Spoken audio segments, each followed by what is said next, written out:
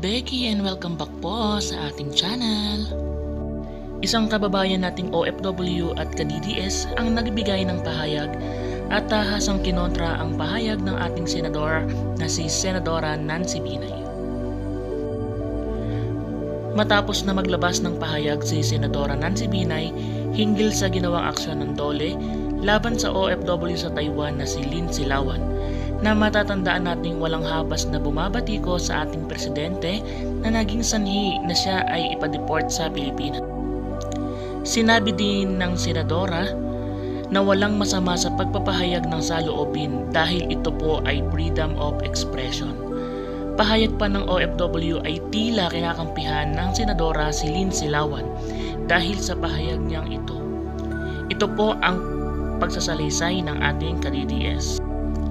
Senadora Nancy Binay, ano po kaya ang mararamdaman mo kung tatay mo ang pagsabihan ng ganyan na masasakit na salita?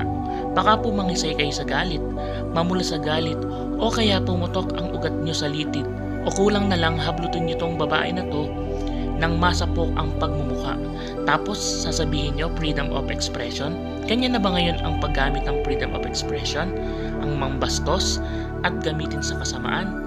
Kinukonsinti niyo po ang babaeng ito. Dapat po dito ay turuan ng leksyon upang hindi natularan ng iba pang tao, pinapalaki niyo po ang ulo. Humiling din siya sa dole na magpalabas ng petition at handa silang pumirma upang mapadeport agad si Lin Silawan. Handang-handa po ang 16 million DDS supporters na lumagda sa petition na ito.